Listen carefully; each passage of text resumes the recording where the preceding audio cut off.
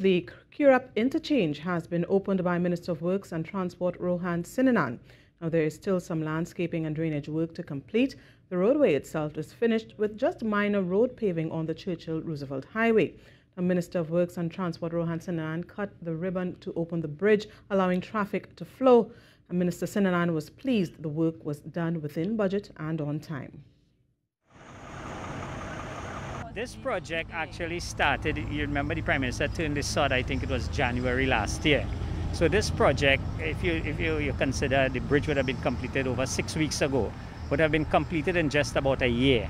And in my opinion, that is, I mean, that is an excellent progression uh, when you compare to the other interchanges that, that took a lot longer than that. So yes, we are satisfied that the project was completed um, within a, a fairly good timeline and so far, the project is within its budget.